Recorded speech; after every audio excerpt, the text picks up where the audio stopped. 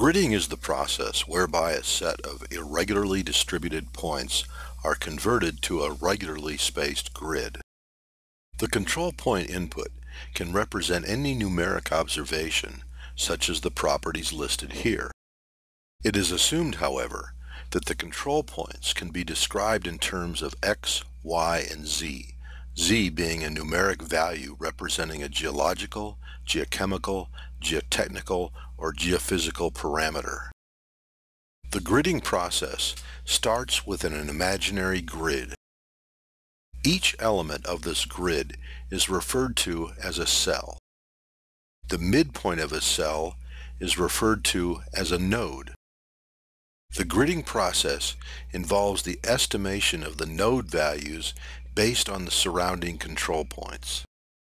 The method or technique used to estimate these values is known as an algorithm. Rockworks has many gridding algorithms, which we'll describe in subsequent videos. Rockworks stores the interpolated numeric values for each cell within files with an RWGRD extension, such as surfacetopography.rwgrd. Grids can be displayed in a variety of ways. For example, if we color code the cells and make them small enough, a color-coded contour map will be produced. We can draw lines around similar cells to produce contour maps.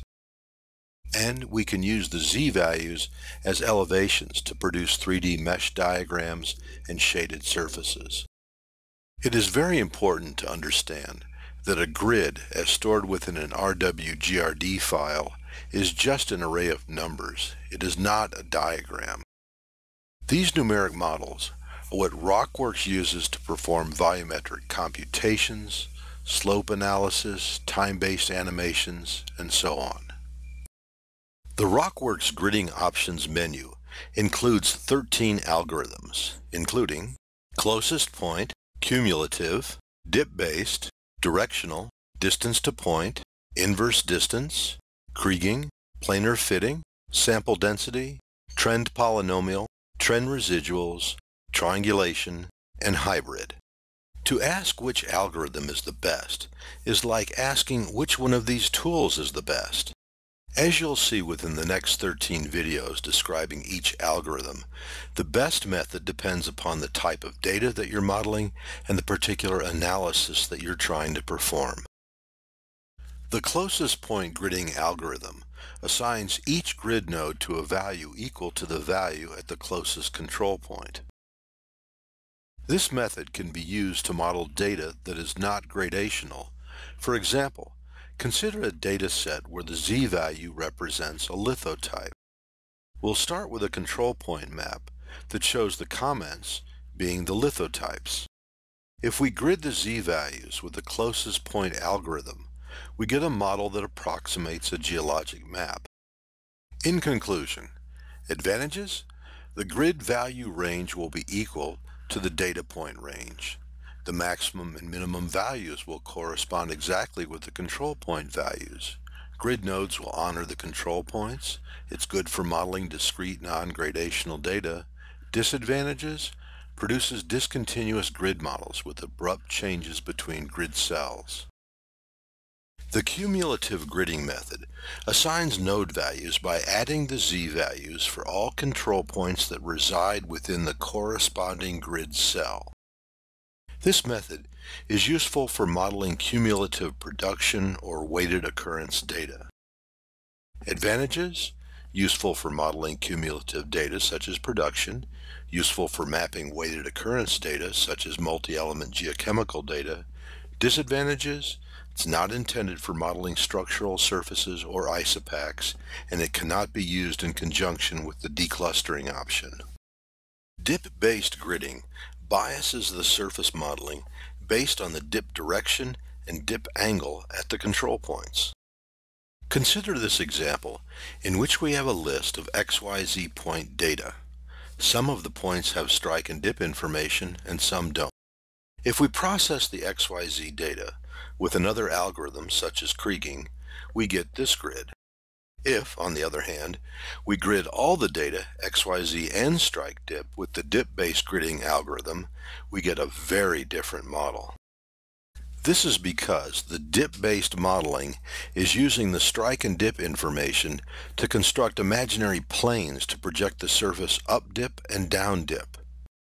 The differences between the two models are profound. If you have strikes and dips for your control points, give the dip-based algorithm a try. Advantages? Dip-based gridding projects the surface based on the strike and dip data. It also uses the XYZ points that lack strike and dip data, and it's great for data in which XYZ are coplanar but strikes and dips are available. Disadvantages? It's applicable only to geologic structure or elevations. It often creates bullseyes for areas without strike and dip data. Directional weighting allows you to specify a trend direction and strength to bias the modeling along the trend. There are three types of directional weighting algorithms, bidirectional, unidirectional, and custom. The bidirectional algorithm has two modes, automatic and manual. The automatic option will attempt to find a trend and bias the model accordingly. The bidirectional manual option allows the user to define the bias direction and relative strength. The unidirectional algorithm is similar except that the biasing only applies in one direction. This is useful for modeling flow systems. The custom option allows the user to create a table in order to bias along multiple trends, such as conjugate fractures within carbonates. Advantages? Directional gridding has the same advantages as inverse distance, but it also permits for directional bias. Disadvantages are that it can apply directional trends even if there are none, so be careful. The distance to point algorithm simply assigns each grid node a value equal to the distance to the closest control point. GIS-oriented applications include distance to market, distance to railhead, and distance to pipe junction mapping. But the real power of distance-to-point gridding involves qualified resource and contamination estimations. To illustrate, let's start with this contamination isopach. According to the Rockworks 17 Utilities Statistics Report, the volume of contaminated soil is 722,579 cubic meters. To add more credibility to this estimate, the volumetrics should be qualified based on the distance from the estimated cells to the control points. We start by filtering the distance to point grid into three Boolean models based on distances that are determined by the spatial variability of the data. For example, the measured classification will be considered as cells within 10 meters of a control point. The indicated classification will be considered as cells between 10 and 20 meters of a control point, and the inferred classification will be considered as cells between 20 and 40 meters of a control point. All other cells will be discarded. These Boolean grids are made up of ones and zeros. By multiplying the original isopach by the Boolean grids, we can qualify the volumetrics into measured, indicated, and inferred categories. Advantages? Distance to point gridding can be useful for GIS modeling, such as performing distance to market analyses.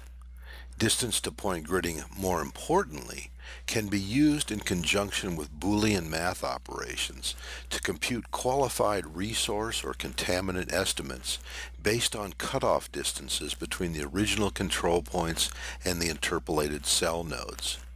Disadvantages? Distance to point gridding does not illustrate the data itself, just the proximity of grid model nodes relative to the original data and distance to point gridding is not intended for modeling structural surfaces or isopachs. Inverse distance gridding assigns node values by computing a distance-weighted average of neighboring control points. This algorithm is based on Newton's gravity equation. Specifically, the effect of a neighboring control point varies inversely by its distance squared. Although squaring the distance is a good starting point, RockWorks allows the user to change this exponent. This animation shows how increasing the weighting exponent causes distant control points to exert less influence when estimating the grid node value. Conversely, lowering the weighting exponent causes distant control points to exert a greater influence on the estimation. The number of neighboring points used for the estimation also has an effect upon the interpolation as shown within this animation. The method used to locate neighboring points can be defined by sectors to minimize the effects of large nearby clusters of control points. As with some of the other gridding algorithms, inverse distance is sensitive to the grid dimensions. As the cells become smaller, bullseyes begin to appear around the control points. The solution is to set the node spacing equal to no less than one-fourth of the average minimum distance between the control points. Advantages? When used properly, inverse distance gridding produces a smooth and continuous grid. It does not exaggerate extrapolations beyond neighboring control points. The range of grid values will be smaller than the data point range, meaning that the highest grid value will be less than the maximum data point and the lowest grid value will be greater than the minimum data point. The disadvantages are that inverse distance gridding can produce a bullseye effect with some data sets, especially when the cells are set too small. Kriging uses directional statistics to influence the weighting assigned to surrounding control points when estimating the node values.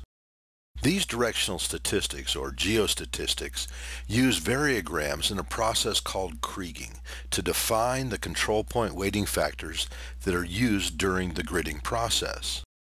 The basic idea behind a variogram is that the variability or differences between data points increase with distance. When the distance between data points is small, the points tend to be similar and the variability has a small value.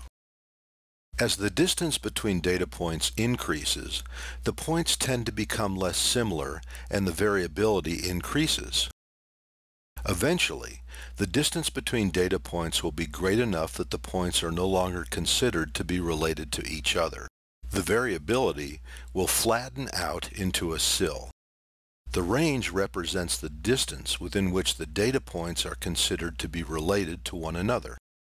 The relatedness of close points is not a huge surprise, but are points more related in one direction than another? This question is answered by constructing a series of variograms for point pairs that are filtered by direction. Once a curve has been selected, either automatically or manually, a comparison of the maximum and minimum ranges defines the anisotropy, or directionality of the data. This anisotropy is graphically depicted by a directionality ellipse, whose long axis corresponds to the direction that will be favored when performing the kriging. The shape of the ellipse, or the major-minor axis ratio, is indicative of the degree of anisotropy that will influence the kriging process. In practice, the RockWorks Automatic Variography option creates these directional variograms for a variety of geostatistical settings and then selects the one with the best correlation coefficient to use for the subsequent gridding. These variograms plot the lateral variability of observed control point pairs for various directions. A series of curve types are then best fit to the observations. These curve types include exponential, Gaussian, linear, and spherical. Directional ellipses are created to define the shape of the predicted variograms as a function of direction. The selected variogram type and directional ellipse are then used to interpolate the grid node values. The manual variography option allows the user to enter their own geostatistical parameters for the subsequent variogram construction. Both the automatic and manual variography options allow the user to interactively modify the variogram and directional ellipsoid parameters before generating the grid model. The geostatistical input parameters within the manual variography input menu are defined as follows. Since variograms represent point-to-point -point variability, the program creates a set of point pairs to work with. Rather than analyzing all possible pairings between all data points, a huge number, the program will sample point pairs along specific directional bearings. These bearing lines can be conceptualized as bidirectional spokes running through the data points. You define the spacing in degrees between sampling spokes. For example, a 45 degree spoke spacing will generate four directional spokes and a 30 degree spoke spacing will generate six spokes. In addition to the program searching for data points in a directional manner, it also searches in distance increments along each bearing line. These are expressed in map units. This variable establishes the maximum distance from each data point that the data search will be conducted in map units. Use this drop-down menu to select the variogram model to apply to the gridding process. This setting tells RockWorks to first create a regular grid of points using inverse distance squared, which will then be used for generating the variogram. Keeping this turned on can create better variograms for small data sets. Turning this off can help create a better match between automatic and manual settings. Check this box to see the interactive variogram editor prior to gridding.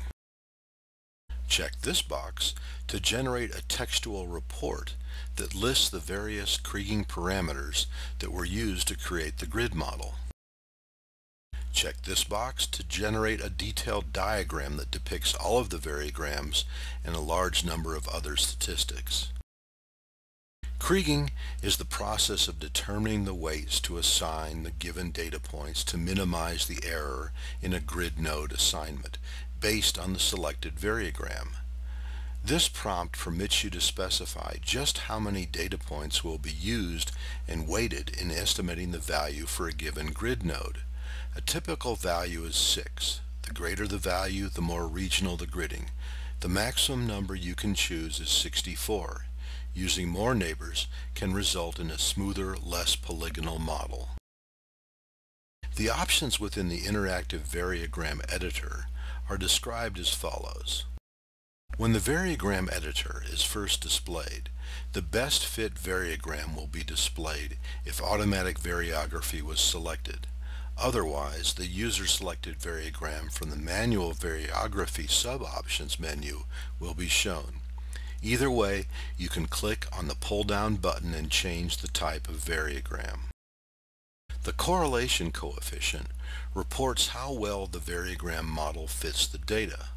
A value of 1.0 represents a perfect direct relationship, 0 means no relationship, and minus 1 means a perfect inverse relationship. This reports the directionality of the data and equals the minor axis range divided by the major axis range. The closer to 1, the less directional or anisotropic the data.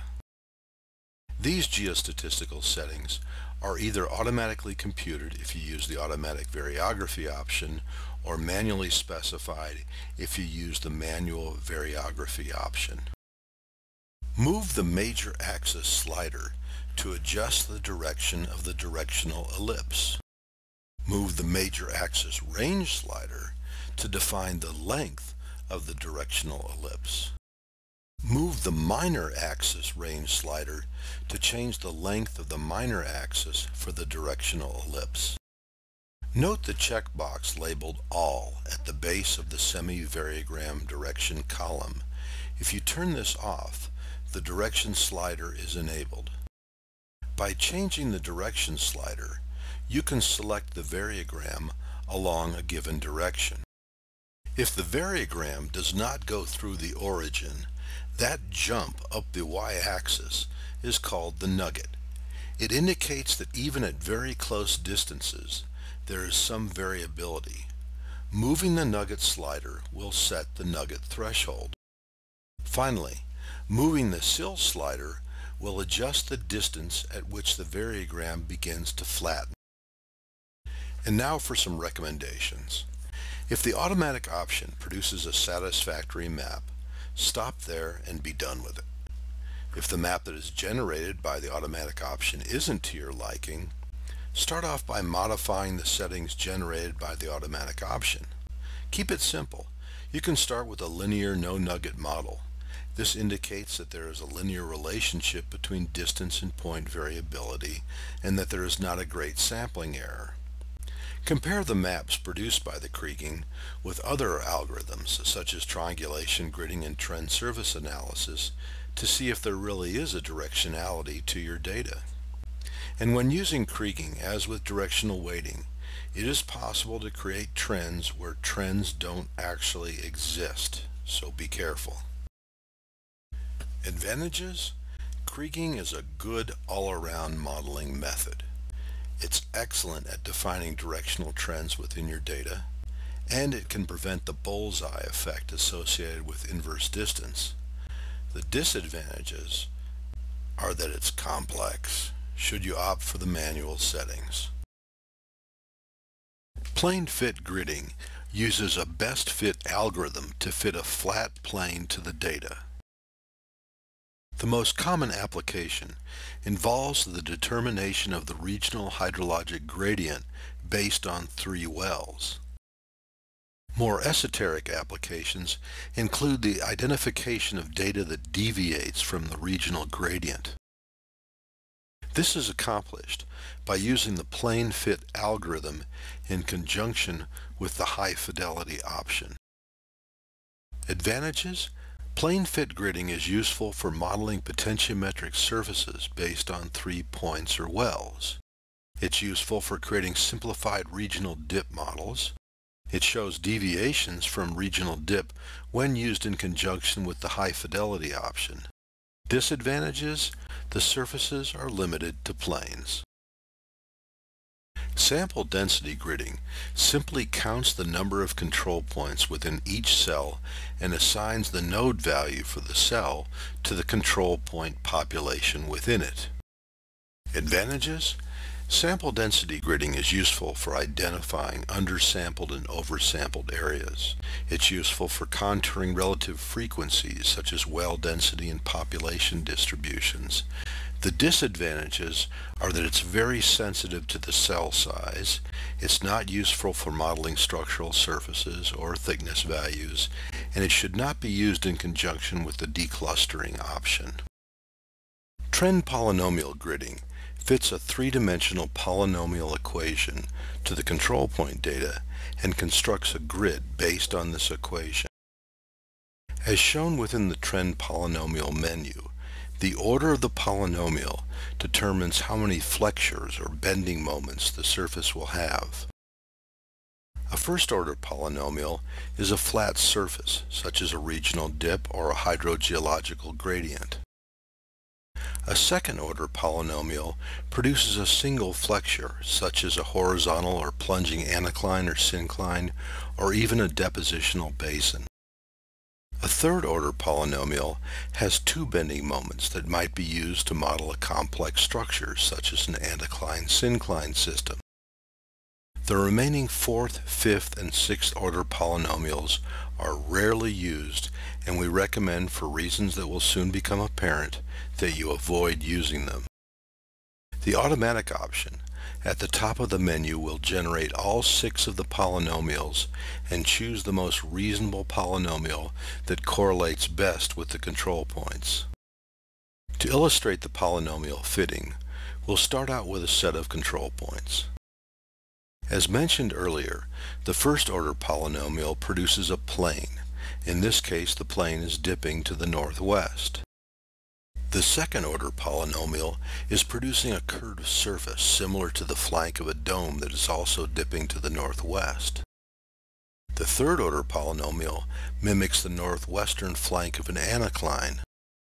The fourth order polynomial has produced a basin to the northwest, a dome to the south, and a very steep gradient upwards to the southwest. The fifth order polynomial has produced some nonsensical flexures at every corner of the model. To illustrate how trend surface polynomials can be used to project trends into areas without control points, consider this example. A triangulation-based grid will be confined to the area of control despite the obvious trend. Generic inverse distance slightly extends the trend. Automatic kriging doesn't project the trend, whereas manual kriging does a much better job but terminates the projection within a short distance. The directional automatic method goes farther, as does the directional manual. But a trend surface polynomial will project infinitely, making it a useful tool for projecting trends into areas without control when used judiciously. We'll be revisiting trend polynomials later on in this series when describing the poly-enhance option, which uses polynomials to enhance the regional trend while using other algorithms to model the local perturbations. Advantages? Trend polynomial gridding will project trends into areas with no data. Trend polynomial gridding shows regional structures otherwise hidden by high-frequency features. Disadvantages? It does not work well with data sets that have no discernible regional trend. It does not honor the control points, and it can produce unrealistic flexures when attempting to fit the polynomials to the control points. Trend residuals gridding assigns node values based on the differences between the control points and the regional trends within your data. For example, if we start out with some control points, and fit a polynomial to this data as described within the previous video, the differences, as shown by the gray tubes between the original control points and the polynomial trend surface, represent the residuals. A contour map of these residuals using inverse distance weighting shows the extent to which these observed values differ from the polynomial trend surface. Negative residuals represent points that lie below the polynomial trend surface, while positive points are above the surface. Examining the anomalous residuals is a great way to find bad data, such as transposed digits within the z-values or transposed coordinates. Modeling the residuals using other directional algorithms such as Kriging can also be a great way to remove the regional trend in order to see the secondary directionalities. We'll cover this later on in a video that describes the utilities, grid, trend surface programs. Advantages? Trend surface residuals identifies local anomalies from or relative to the regional trend.